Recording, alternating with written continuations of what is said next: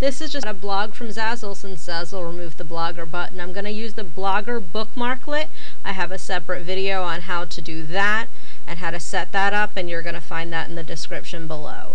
First we're going to go into any product page and click a product. Obviously you can be more selective. This is my own shop and everything needs to be promoted so it really doesn't make a difference to me. We're going to go ahead and click the link over here on the left and yes, I know they move this around occasionally. Click the HTML box and use Control C to copy, or you can use right click and copy, that's up to you. Then we close that window. Now you're going to come down here and you can choose to copy everything. You can choose to just copy your description. Any text here that you highlight is going to transfer over. You do not need to hit copy on this. Just highlight it and click your bookmarklet. Now Blogger will open in a new tab and it will bring over all of the text you just clicked. You can go ahead and delete all of this weird extra stuff that you see in the middle here.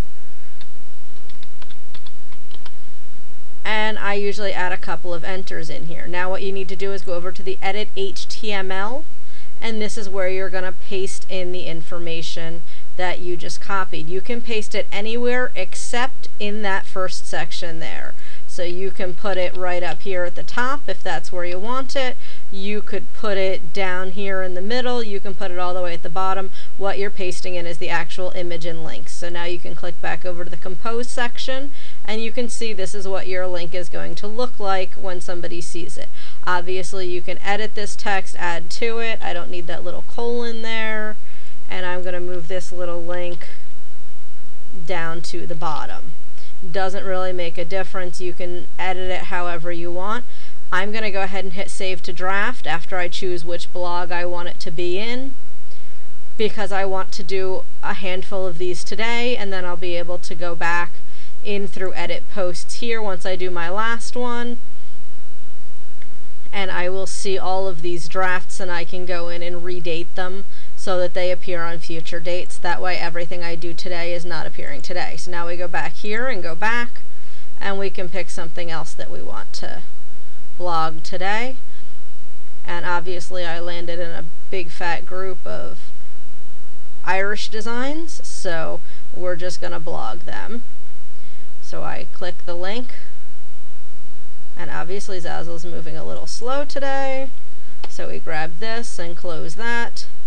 Then we come down here, highlight, and click the bookmarklet.